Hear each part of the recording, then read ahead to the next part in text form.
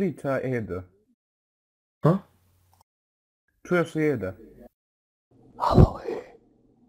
Evo ga. nešto, Enka.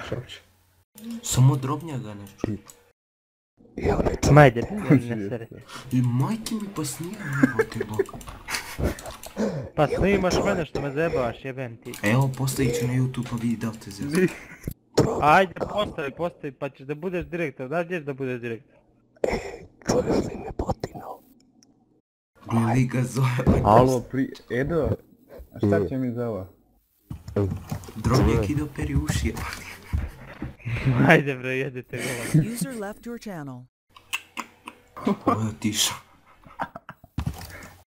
Idi, idi sad i na YouTube odmah sad da mu pokažemo. Idi.